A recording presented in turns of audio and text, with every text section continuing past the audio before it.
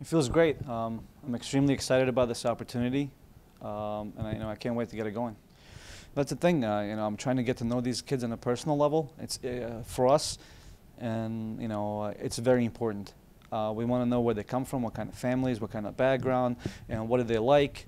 And, th- and you know, and when you take all those things, then you can start to see how how is that coming together in, in, a, in a team setting.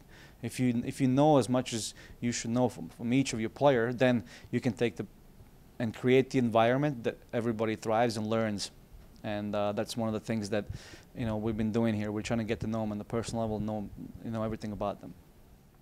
Well, I think we, you know we- we're trying to grow the program. Uh, we're trying to we're trying to put it in the better place that we found it. So we're going to set ourselves to you know um, realistic goals that we can go out there and try to achieve them. I think growing the program is is is a base. We want to make sure that that the trend is upwards.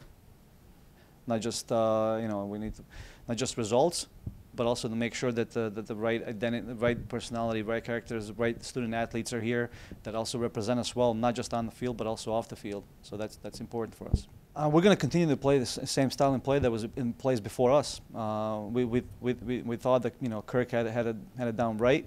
Now we're just gonna you know we're gonna continue in that trend, but you know we're gonna add a little bit something that we believe in, as I said, maybe a little tweaks, um, you know, in, in different parts of the field, but we're, we're still going to look to, you know, to possess the ball a lot, to, you know, play good, attractive soccer going forward, um, you know, give the, give the guys a good experience for being at Cleveland State.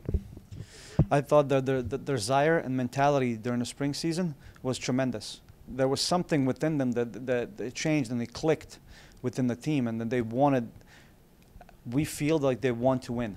There's a certain desire and willingness to go through certain pains to achieve something here. A lot of them are, you know, uh, seniors. A lot of them are older, ol- you know, older players, and they, they feel like they owe it a little bit to the school to leave here with, with something behind them. And that's kind of like what we sensed from them. Um, it wasn't just our goals as coaching staff, but it's good to see that from players as well that commitment, the level of commitment, the the overall approach in the spring was very good, and it's, it's just I think it's just a small detail that, that will help us in the fall.